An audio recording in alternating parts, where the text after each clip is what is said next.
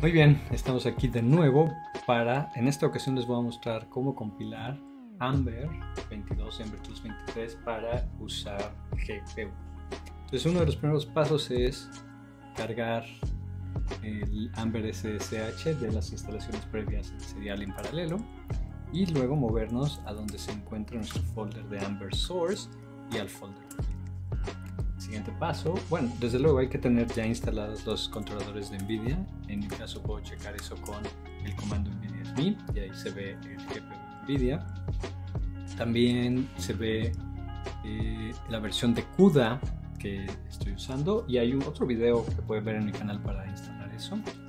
Y hay que editar nuestro RunCMake en esta ocasión para que además, bueno, para que lea el MPI de la instalación pasada lo voy a volver false y este menos de CUDA lo voy a volver true. Todo lo que se necesita. Entonces voy a ejecutar de nuevo el run cmake, el primer paso para que lea esta nueva configuración y genere lo que se necesita. Desde luego, idealmente, no debe haber ningún error. Esto fue muy rápido, entonces como aparece esta sección donde dice MPI off, OpenMPP off, CUDA on, estoy sospechando que sí funcionó.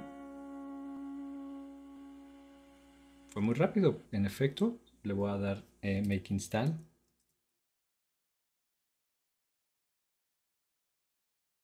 Estoy pensando que no hice el test, el make test de paralelo no sé si voy a hacer el de ahora, si vale la pena, porque usualmente si todo funciona, toda la compilación funciona, muy inusual que no pase los tests. Entonces voy, a, voy a pensarlo en lo que esto compila y este, lo haré o no. O si lo quieren ver, este, algún video, ya saben, dejen sus comentarios, sus preguntas ahí en el, eh, en YouTube. Eh, si les gusta, suscríbanse. Si quieren ver más videos, ah, pues, solicitudes ojalá lo puedan compartir con todo el mundo para que llegue a los mil suscriptores, eso sería muy padre. Y bueno, vamos, vamos a ver que esto acabe.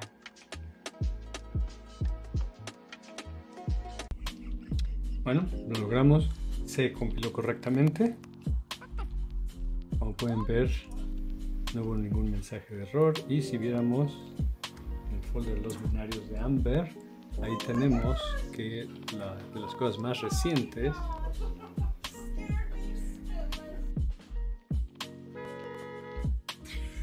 Aquí está PMD CUDA. Oh Quick CUDA, MDGX CUDA, CSP Track CUDA. Todo, todo está perfecto. Bueno, espero que ustedes tampoco tengan problema en su instalación y que Preguntas, comentarios. So I got you two in case you wanted Chao. to keep one at the